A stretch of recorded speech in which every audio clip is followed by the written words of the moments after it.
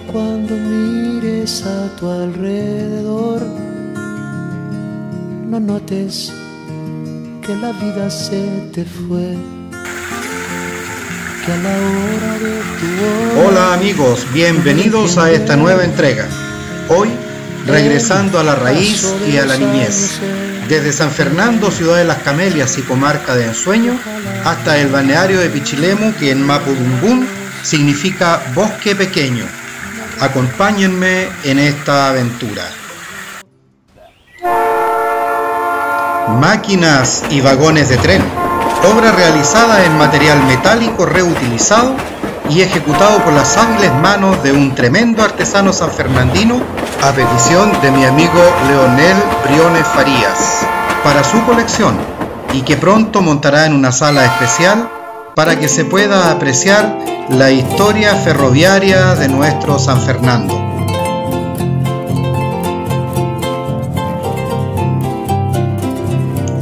A solo 40 kilómetros y 30 minutos por carretera, desde San Fernando se encuentra la ciudad de Santa Cruz, ciudad guasa por excelencia, lugar ideal para degustar un exquisito almuerzo típico de la zona.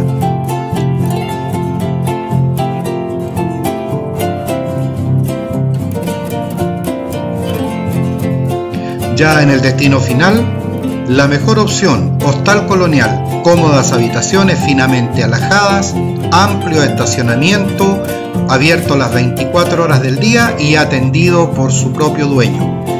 A pasos del centro, cerquita de la playa y de todos los puntos de interés turístico.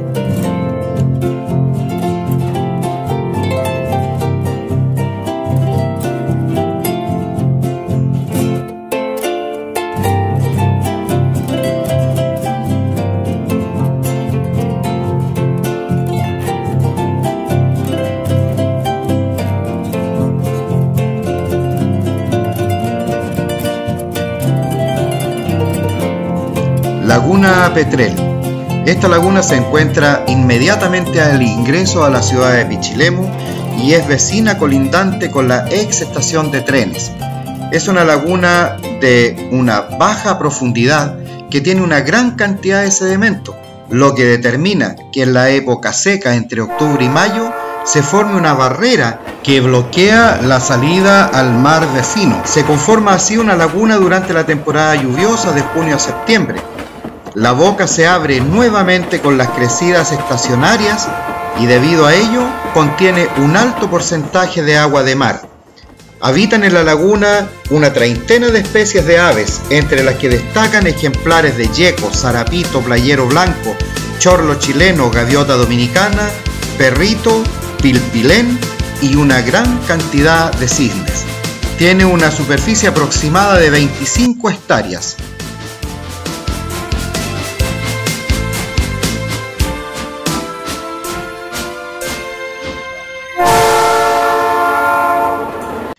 El Parque Ross es un parque ubicado en la avenida Agustín Ross, frente al antiguo centro cultural del mismo nombre, en Pichilemu, y es un monumento nacional. El parque original contiene palmeras datileras canarias nativas de más de 100 años de edad, y muchos espacios verdes, tanto el parque como el antiguo casino, fueron nombrados monumentos nacionales el 25 de febrero de 1988.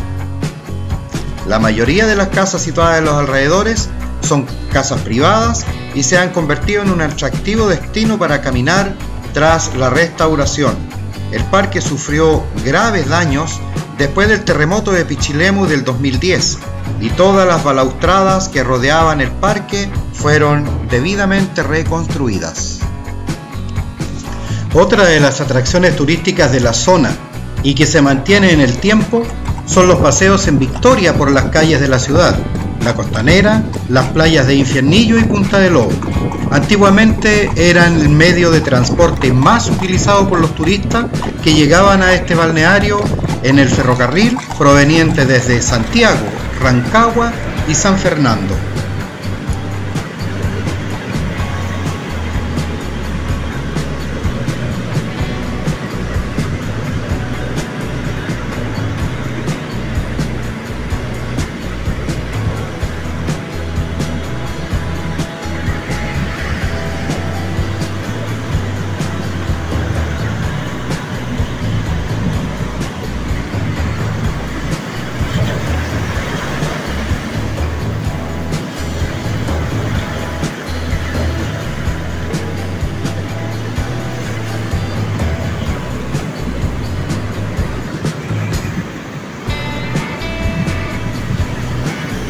Punta de Lobos. Es un balneario apto para el baño y para las actividades al aire libre, tales como el surf, pesca de orilla y caminatas. La playa de los Lobos se caracteriza y debe su nombre porque los roqueríos habitan abundantemente este tipo de animales marinos y por contar con un acantilado de más de 100 metros de altura. Esta zona también es considerada la capital mundial del surf.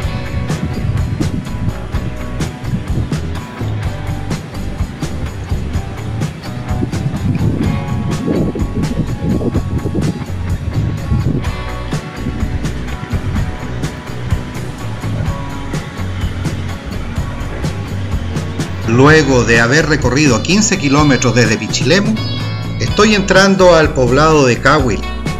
Llama la atención piscinas rectangulares de tonos rojizos y blancos emplazadas en la ribera de la laguna. Se trata de las famosas salineras de Cahuil, que en realidad en su gran mayoría están en la localidad de Barranca, a 4 kilómetros de Cahuil. Esas son las mismas que desde tiempos precolombinos se cosecha la sal de mar. Este es un lugar que se ha convertido en una parada obligada para quienes visitan la zona, sobre todo en la temporada de verano, cuando los salineros están en plena cosecha. Aquí, además de maravillarse con estas coloridas piscinas, las cuales se pueden recorrer a través de pequeños caminos de barro que separan a cada cuartel entre sí, se tiene la oportunidad de avistar nuevamente aves como el cisne de cuello negro, taguas, perritos y rayadores que llegan al humedal que circunda la salinera. Son cerca de 80 las familias que aún se dedican a este negocio en la zona, utilizando las mismas técnicas ancestrales de los indígenas de hace cientos de años con algunas mejoras y traspasadas de generación en generación un conocimiento que les ha valido el título de Tesoros Humanos Vivos, declarados así en el 2011 por el Consejo Nacional de la Cultura, las Artes, en conjunto con la UNESCO. La sal que acá se extrae también cuenta con denominación de origen, que la reconoce como única en el mundo. El proceso para cosecharla es largo pasan meses antes de que los salineros vean el fruto de su trabajo. Esto comienza a fines de septiembre con el desbarre, que es el proceso en que ellos remueven el agua dulce acumulada durante el invierno, se reparan los estanques, las compuertas y los canales, se limpia el barro que está depositado al final de las piscinas y se dejan al aire limpios y secos para que se evapore y queden en condiciones de almacenar nuevamente el agua que viene directamente de la laguna. Esta agua se deposita en la primera piscina llamada cocedera, donde comenzará el proceso de cristalización al evaporarse. Luego el agua se irá trasladando e irá llenando las diferentes piscinas o cuarteles que cumplen diferentes funciones, hasta llegar finalmente al cuartel conocido como cuajadora o cosechadora, que recibe el agua del recocedor para almacenarla durante 25 días y que se irá rellenando en la medida que se va evaporando y deja a su paso una especie de nata que los salineros deberán quebrar para luego revolver el agua y dejar que los rayos del sol puedan seguir calentando homogéneamente y así colaborar con la evaporación. Una vez que se termina este último proceso y ya se ha evaporado todo el agua, comienza la etapa de salitrada o cosecha. Luego de eso se amontona la sal y se traslada al lugar de secado.